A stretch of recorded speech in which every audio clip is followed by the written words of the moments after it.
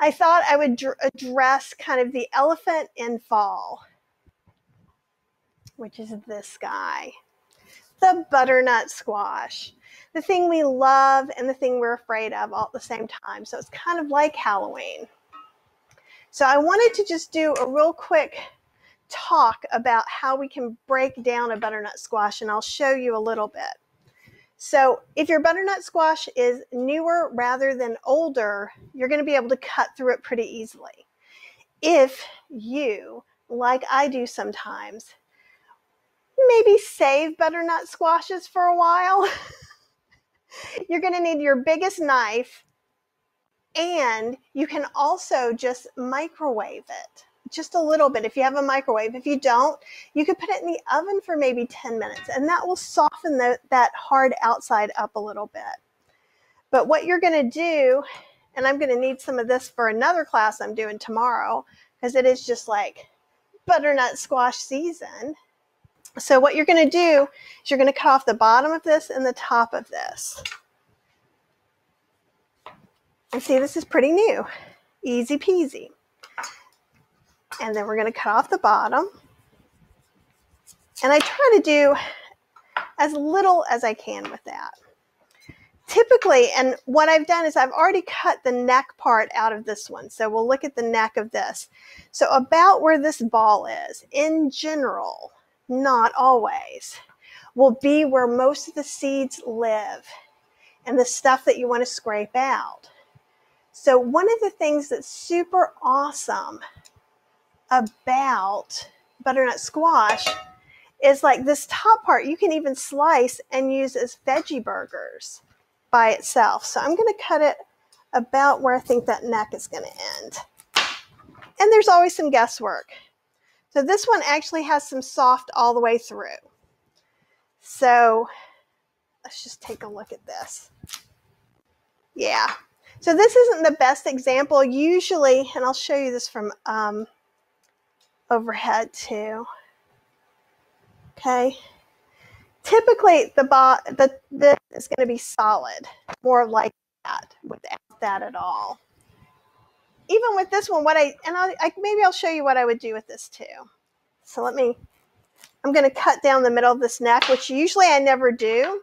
So see, that's where it's like trying to get seeds. So you could still scrape this out just like you would a pumpkin or anything else. You could peel it before now or later.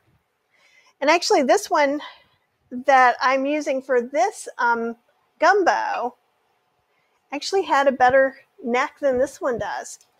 I only lost like just a little bit. This one you're going to lose a lot. Like a lot. Like let me dig in here and show you. You know, it's almost at least a third. See all that? That is not nice. Let's go ahead and peel this guy. And this one was a little bit hard. And this, like I said, so this one has a pretty thick skin, but you're just still going to peel it. And if you have it really big and tall, you can peel down to the neck as long as you have this flat surface. Okay. So that's really important to remember because what freaks people out about squash, winter squash, is that, you know, nobody wants to lose an arm to make some gumbo. And I'm with you on that one. I got to say, we're going to go ahead and we're going to peel it.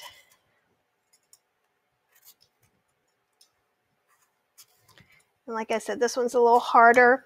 I'm just going to peel about half of it for right now because the flour is going, the roux's getting together faster than I had thought it was going to.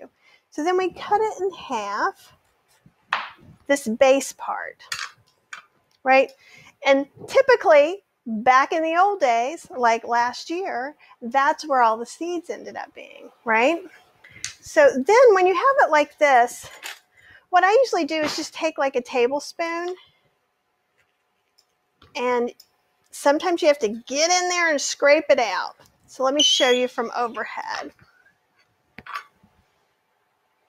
Okay.